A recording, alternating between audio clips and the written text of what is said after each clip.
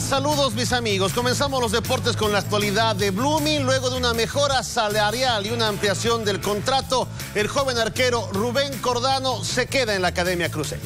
Sí, me habló conmigo, me dijo que estaban dispuestos a, pagar la cláusula de préstamo que era 15 mil. Rubén Cordano estuvo a punto de irse de Blooming. El principal motivo, el sueldo, ya que ganaba 500 dólares y tenía una cláusula de préstamo a cualquier equipo nacional de 15 mil dólares, misma que estaba dispuesto a pagar Wilterman.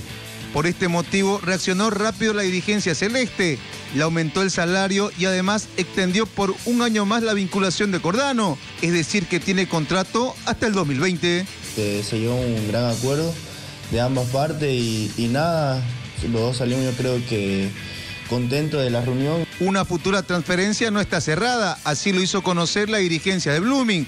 Eso sí, tendrán que pagar lo que pida el club. En la medida de que hay algo interesante, pues nosotros accederemos. Lo último que queremos es truncar una carrera.